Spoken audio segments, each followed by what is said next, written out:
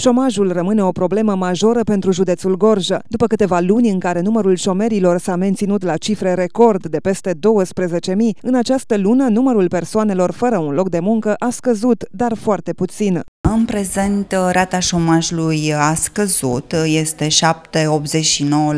față de 8,37% cât a fost luna trecută, iar numărul de șomeri este 11.413. Cei mai mulți dintre șomerii gorjeni își caută un loc de muncă de mai bine de jumătate de an, iar procesul este îngreunat nu numai de lipsa investitorilor din județ, ci și de reticența angajatorilor.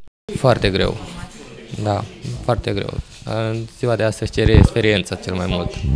Ați mers la câteva interviuri pentru acest post și v-au cerut experiență? Pentru acest post am fost la un singur interviu, mi-au cerut experiență și atâta tot. Deci, cum au văzut că nu aveți experiență, au devenit neinteresați? Devine interesat, da. Caut în, ca mecanic auto la firma unde am lucrat și vreau să reușesc dacă se poate. Deci vreți tot un post de mecanic auto? Da, da, da.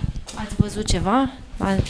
Aici n-am văzut, da. Mă zbat să ajung tot unde am lucrat. Pentru cei aflați în căutarea unui job, Agenția Județeană pentru Ocuparea Forței de Muncă organizează vineri bursa generală a locurilor de muncă.